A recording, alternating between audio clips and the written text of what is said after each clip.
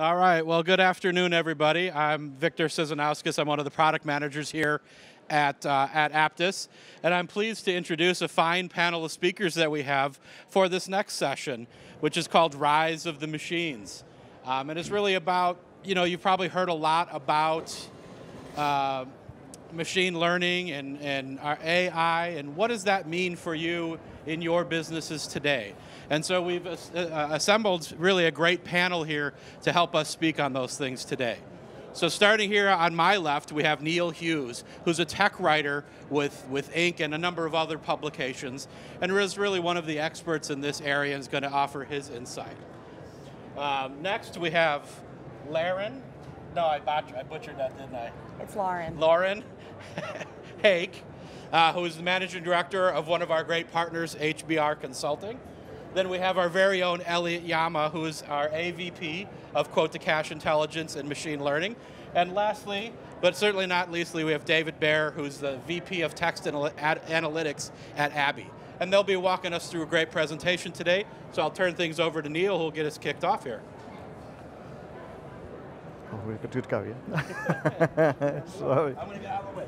I think it's undoubtedly that um, artificial intelligence and machine learning are big buzzwords at the moment.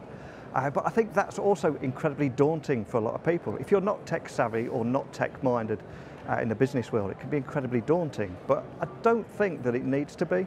Uh, so the best way I try and make sense of this kind of thing is to demystify the technology. So if I was to think about the music industry, for example. I remember growing up as a small child and the love of vinyl records and caressing the, the vinyl on the way the bus home and the artwork. But then that quickly changed to uh, cassettes and creating my own mixtapes and the passion that I had for that. And then obviously, then that evolved again onto CDs and the crystal clear quality of the music.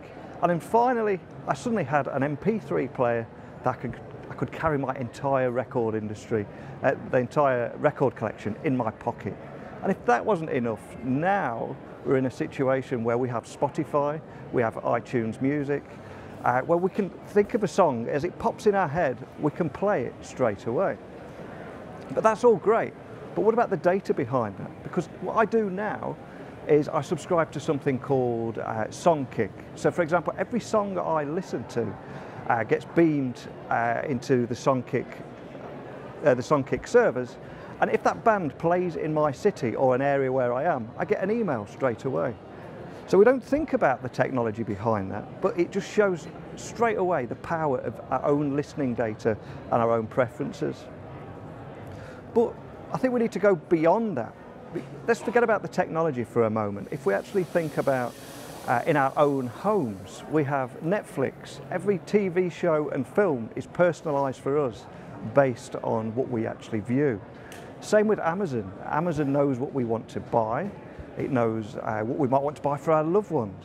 And then anyone that's in a meeting room will probably find many watches or wearables or Fitbits.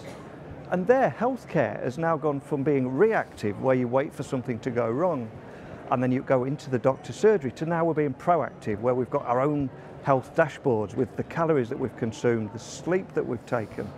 And this is all data and machine learning and artificial intelligence behind it, unlocking our real habits. So if we look at this in the business world, it seems we've got two different worlds here because at home, everything's personalized and digitized for us. Uh, we, can, we can get a cab, a hotel room, our weekly shop, all done like that. And that is our expectation level now. But when we go into the workplace, it's completely different. Suddenly there's a lot of red tape and process that takes absolutely days, if not weeks, to complete. And if we look at the actual data behind this, in the workplace, 0.5% on average of all data is analysed and used. So let's just try and think about that for a moment. We've got two different worlds here that are conflicting with each other. So if we don't talk about technology uh, as in machine learning and artificial intelligence, we're already measuring our own data and it's just we need to bring that into the workplace.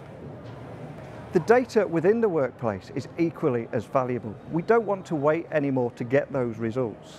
And equally, I was chatting yes, only yesterday to the people at Reuters that were using uh, Apttus, and they were saying that people actually Um, the feedback that they had, and I remember this line uh, where they said, I enjoy doing business with you now because you make it easier.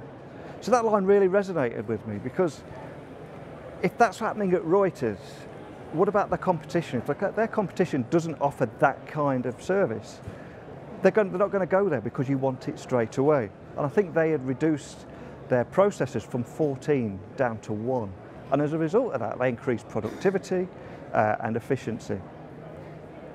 So the question I'd like you all to listen to, the question I'd like to ask everybody here today is, do you know the value behind your data? You know, is that 0.5% figure I, I, mentioned a moment ago, is that the same in your company? Uh, if it's anywhere near that, think about marginal gains, because where they say if you increase anything by 1% or 10%, if you're uh, a FTSE 100 company, for example, a 1% or 10% improvement, it means a dramatic increase in revenue. And that, that's just me as a tech writer, the way I see it. Um, so thank you. So let me pick up here. Please. Thank you.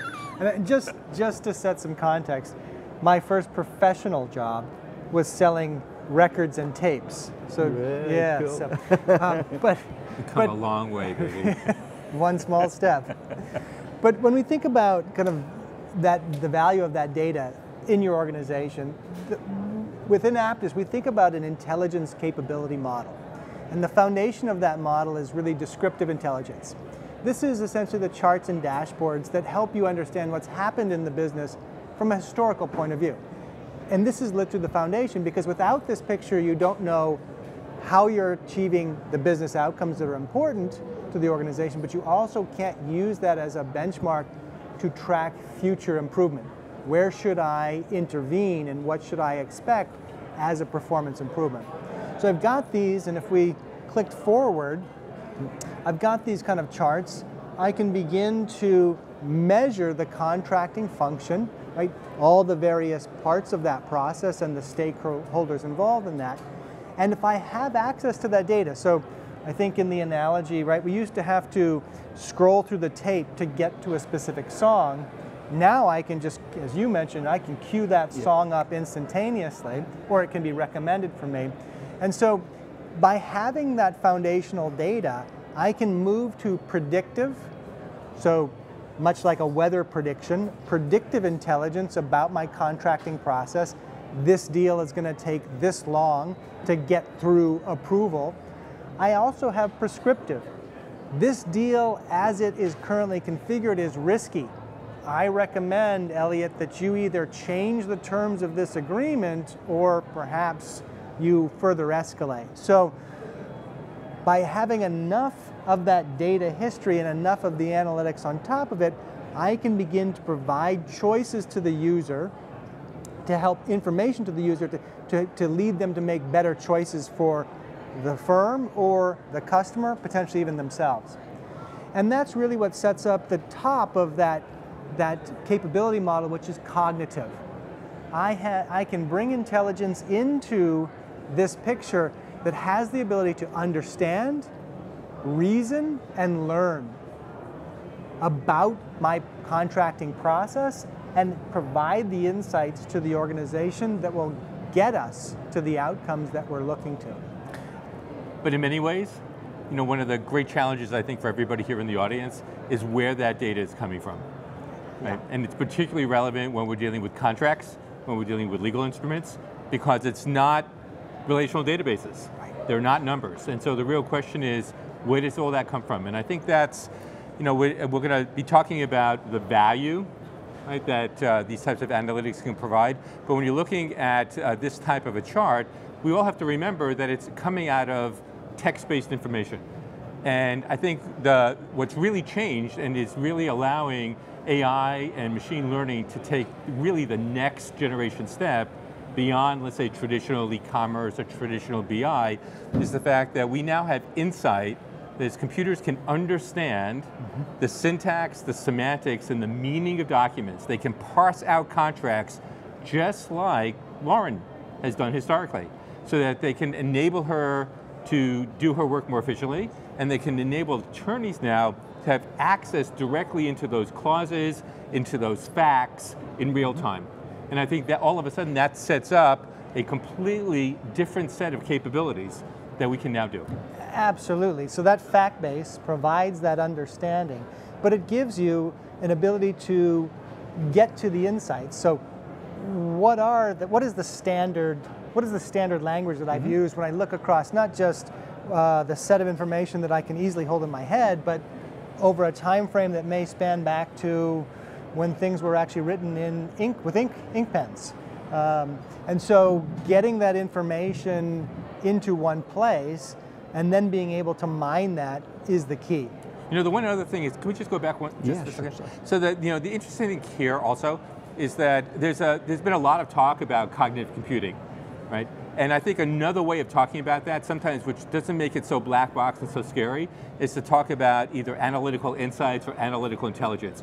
Because when we go from the understanding of the documents and that content intelligence, we bring it into the Apttus CLM, and as now a data set, now we can generate analytical intelligence on top of it. All of a sudden, it starts to make a lot, of, a lot more sense uh, to everybody here. And when we now look at the, the slides that talk about where we're going, you can see where that data, where those facts, where those insights are coming from exactly. to really drive that. Yeah, and so to take this conversation, sorry Neil, if you could, to take this conversation, just to just to touch on some of the key pieces here. We right? didn't so, rehearse the cadence right, sorry. we think about the fact base, so I've got a repository, and from there that gives me the ability to start the reporting and analytics based on that that data set.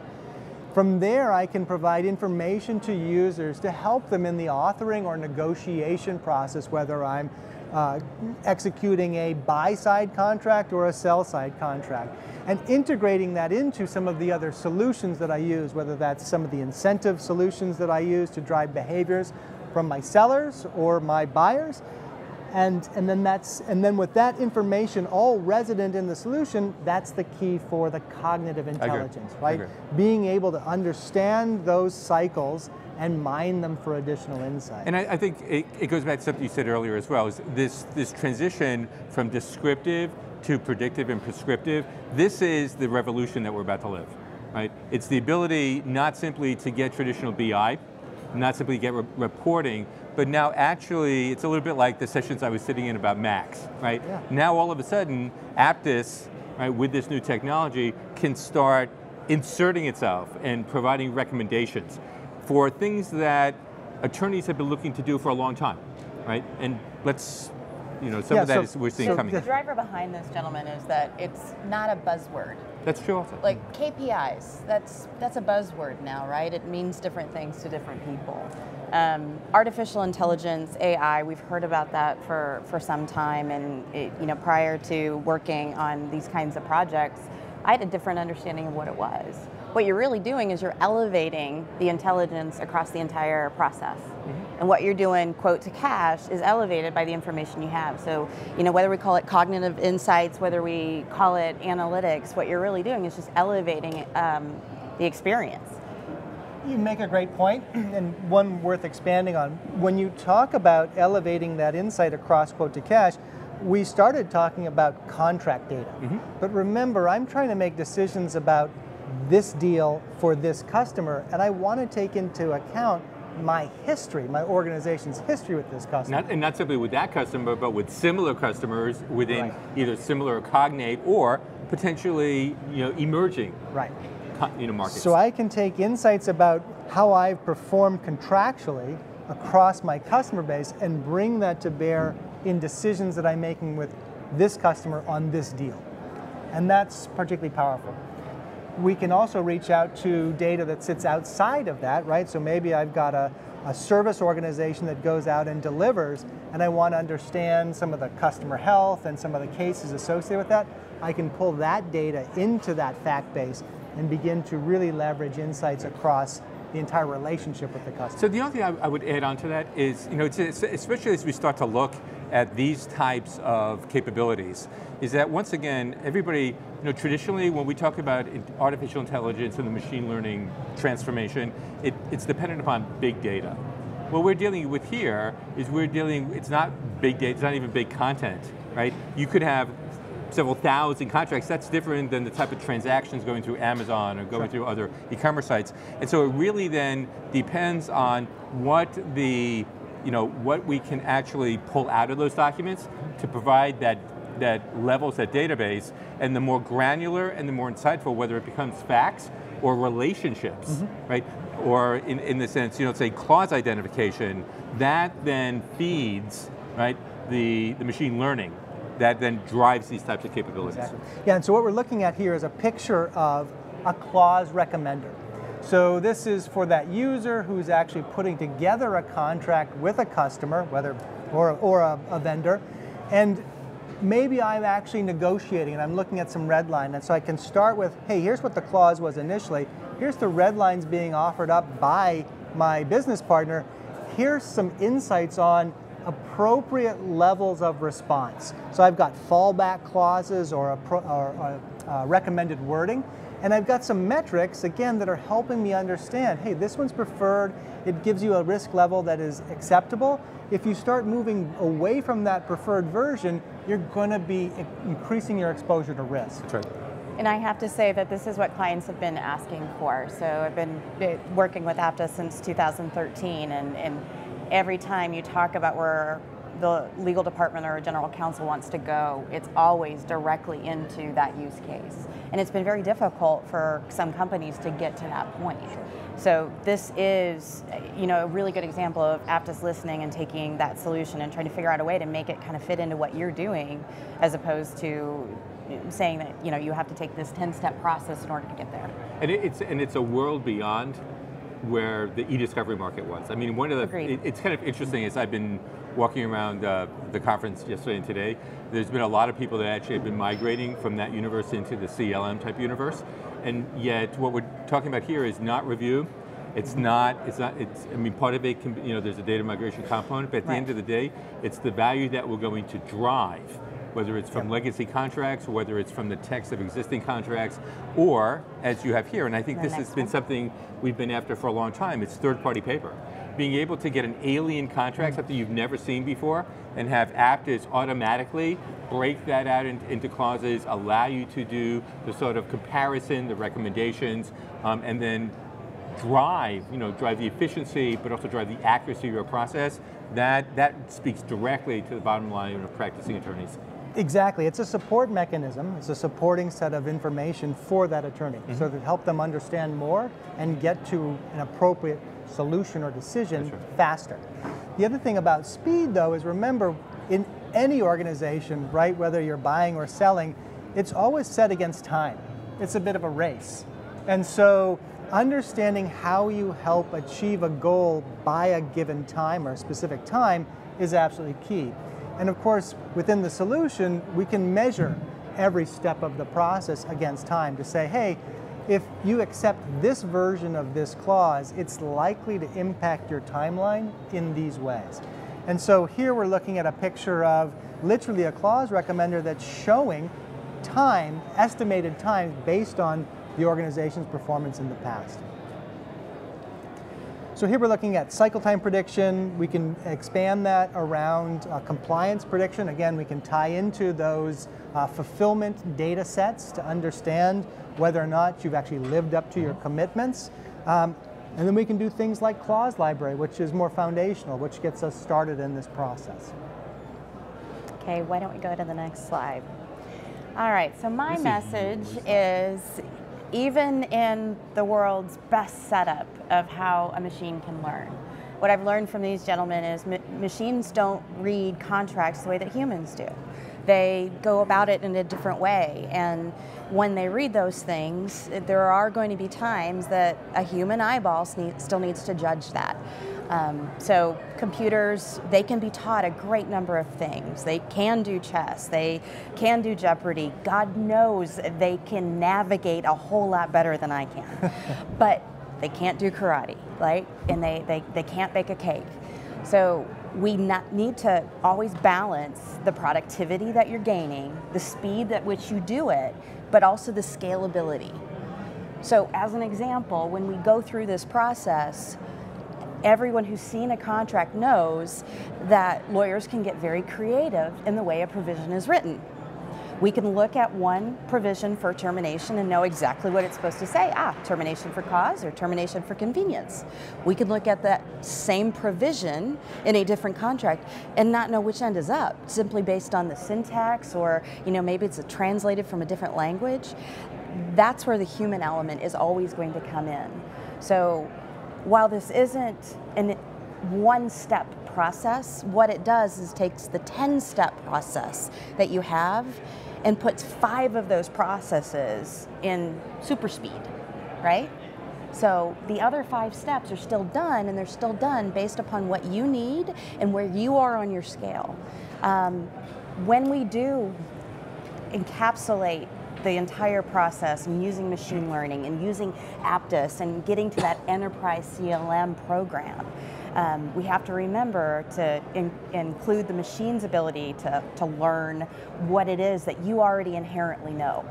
And that's the step that sometimes people miss, or as we talk about AI and as it's been released, it seems to be something that's a little fuzzy. Yeah, I think you know the interesting thing is um, uh, point well taken, right? There, there, there's the role of people in this process will never go away.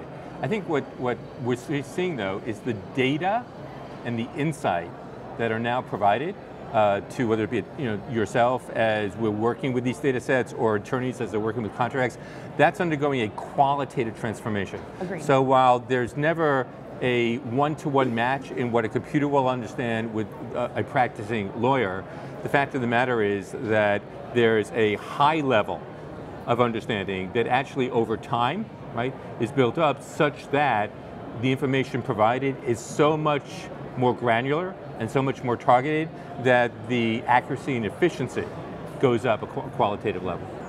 We touched on AII, or we mentioned AII. I don't know that we necessarily provided a definite. Uh, they don't even need, know what AII is. So we need to we need to double click on that. Do you want to do you want to take a cut at that? You want I, to take I'd a cut at that? I'd be happy to, but you've got to keep me honest here, okay. Elliot. So, Apttus Intelligent Import, that was the first component that was launched related to um, the next step in machine learning and the partnership for how machine learning impacts your use of Apttus. And everybody who's got CLM, whatever CLM you have, you usually don't have that system the first day you're open for business, right? So you always have to answer the question, what are you going to do if the first day you use Apttus, somebody needs to amend a contract that's not there? How are you going to get that legacy information in the system? And this has been a consistent issue for every client who has any CLM system. And so we needed a way to get migration past the point that it had been at. And you know, I've migrated a number of systems into another, uh, a, a, number of other systems, and I do it through a Nancy Drew type method, right? I'm, I'm looking at the metadata, I'm extrapolating, I'm translating records, I grab my SQL developers, I have them figure it out. It's a long, hard process. But here, you're taking things like machine learning, the text analytics, the ability to parse out that contract, identifying the attributes that are ready for Apttus, like they are the Apttus attributes in so many cases, and you're combining it with some of the best technology, like XAuthor for Excel, to get those records into your system quicker, quickly. And so that's the first step. And maybe what you can do to put you on the spot, Elliot, sure. is tell them a little bit about where it's going next. Yeah, so exactly. So again, once I have that data, whether it's the metadata associated with that contract or the actual text of uh, represents the clauses and terms, it's from there that we can begin to generate the recommendations about redlining, reconciling third-party paper, delivering those insights to the user inside the Apttus CLM experience. You know, one of the, uh, I, I, know, Lauren, I know you mentioned migration, mm -hmm. but I, I, think it's, uh, we should also remember that this is also, it, it's a bit of an ongoing process. That is, as people evolve their practice uh, and they identify additional uh, insights or facts or relationships that they want out of the contracts, they, we can actually go back, pull that information right. out to drive the next generation. So I, I really see this as a, you know, we're just at the beginning. We, we, we kind of know where we're going over the next year or two together, but where it ultimately goes to is what the users in the market sure. will actually tell us in terms of what they want uh, out of those contracts. Where the So- value is and the That's in right. the efficiency, the effectiveness gains. So I do think we're getting close to time here, but just to share where things are going next, and, and maybe Neil, you can help us a little bit about anything cool that's going on with artificial intelligence in general, um, is recognize that the theme for today was the rise of the machine. So we're not trying to turn into Cyberdyne systems, um, any of us, right? Um, Skynet is a cautionary tale in, liter- in the literary sense. So we always need to remember that and, and avoid that self-awareness, right? Absolutely. I mean, there is a lot of fear around this. I think there was a lot of fear around this technology, but I think now we're noticing that there's more opportunities than challenges. Rightly or wrongly, we now have Samsung fridges or any smart fridge that will tell you when your milk is running out at home. So businesses need to step up and deliver that same experience. So can you do things faster? Can you do things easier? And can you do things better? This is our expectation at home, and I think that is going to be our expectation at work too. I find my best shoes by looking at the Amazon. What did other people buy? Fantastic. Time to renew the milk subscription, right? Yeah, absolutely. Thank you all. Thank you. Thank you guys.